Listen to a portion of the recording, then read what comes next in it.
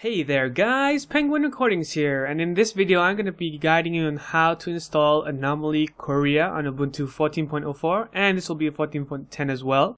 So I'm getting the Anomaly Korea version from the Humble Bundle or the Humble Store. Alright, this is the DRM free version. So after you've downloaded it, head to the direction that you've downloaded it. This is downloads for me. You're going to want to right click it, go to properties, and then under the permissions tab you want to make sure that allow executing file as a program is ticked. This is very important. So after it is ticked you can click close. Now secondly we want to go to the top left go to edit and then preferences. Now under the behavior tab make sure that run the text files uh, as soon as the double click is tick is selected. This is very important and leave it at that. So now you can simply double click it. Alright. And the installer will pop up. You can click next. So the directory or the destination doesn't need to be changed. It's going to install into your home folder, which is good. So this part can take quite a while. I am going to skip ahead into the video. Alright, so we are nearing the end of the installation. It is done. Now we can click finish at the bottom right.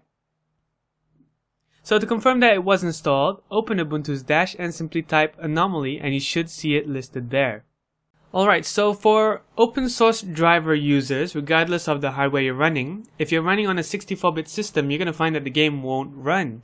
So there's a little bit of extra work here that we need to do. I'm going to open up the directory in which I opened, uh, which I installed Anomaly Korea to, which was the home directory, as you can see. Now I want to run it in a terminal, so I open up a new terminal and I type cd space and then I simply drag the folder name into there and it gives me the full directory. I hit enter. Now I'm going to run the executable through the terminal to find out what's wrong.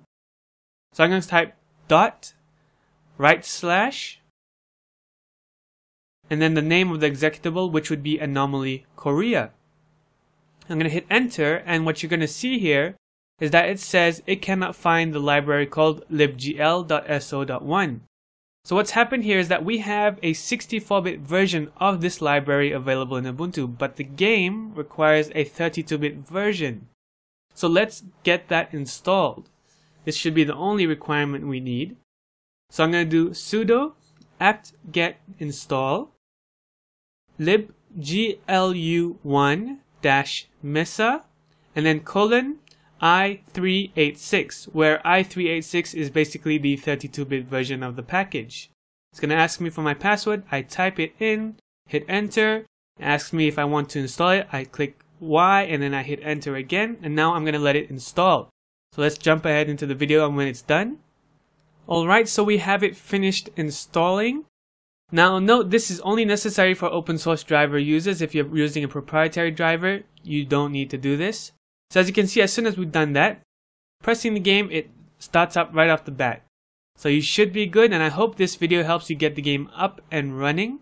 So for open source users uh, who are on the 64-bit version of Ubuntu, you will need to do one thing extra. But after that, it should work off the bat. So I hope you guys enjoyed watching I hope this video will help you in one way or another. Thanks for watching.